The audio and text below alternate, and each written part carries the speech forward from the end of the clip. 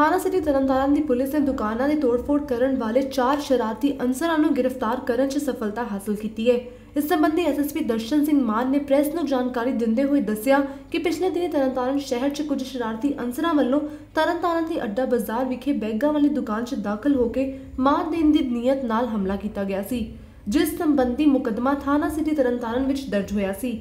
ਇਹ ਮੁਕੱਦਮਾ ਦਰਜ ਹੋਣ ਤੋਂ ਬਾਅਦ ਇਸ ਮੁਕੱਦਮੇ ਦੇ ਦੋਸ਼ੀਆਂ ਨੂੰ ਗ੍ਰਿਫਤਾਰ ਕਰਨ ਲਈ ਸਪੈਸ਼ਲ ਟੀਮਾਂ ਤਿਆਰ ਕਰਕੇ ਉਹਨਾਂ ਨੂੰ ਵਿਸ਼ੇਸ਼ ਹਦਾਇਤਾਂ ਦਿੱਤੀਆਂ ਗਈਆਂ ਸਨ, ਜਿਸ ਤਹਿਤ ਕਾਰਵਾਈ ਕਰਦਿਆਂ ਹੋਇਆ ਤਰਨਤਾਰਨ ਪੁਲਿਸ ਨੇ ਇਸ ਮੁਕੱਦਮੇ ਹੇਠ ਦੋਸ਼ੀ ਜੋਵਨਪ੍ਰੀਤ ਸਿੰਘ, ਗੋਲਡੀ ਸਾਹਿਬ ਸਿੰਘ, ਸਾਹਿਲਦੀਪ ਸਿੰਘ ਨੂੰ ਗ੍ਰਿਫਤਾਰ ਕਰ ਲਿਆ ਹੈ।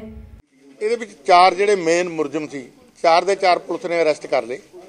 ਇੱਕ ਜੋਬਨਜੀਤ ਹੈ, ਇੱਕ ਗੋਲਡੀ ਹੈ, ਸਾਹਿਬ ਸਿੰਘ ਸੋਨੂ ਤੇ ਸਾਹਿਲਦੀਪ। ਇਹ ਚਾਰੇ ਪੁਲਿਸ ਨੇ ਅਰੈਸਟ ਕਰ ਲਏ ਨੇ।